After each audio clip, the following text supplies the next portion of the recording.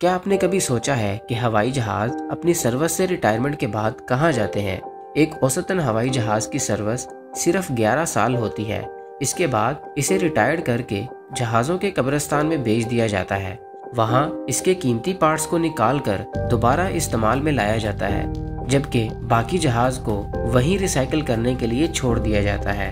ज़्यादातर जहाज़ों के कब्रिस्तान सहरा में बनाए जाते हैं। जहाँ ज़मीन पुख्ता और नमी कम से कम होती है, ताकि मेटल को जंग ना लगे। इस वक्त दुनिया का सबसे बड़ा जहाजों का कब्रस्तान टक्सन अमेरिका में है, जहाँ तीन हज़ार से भी ज़्यादा हवाई जहाज़ खड़े हैं।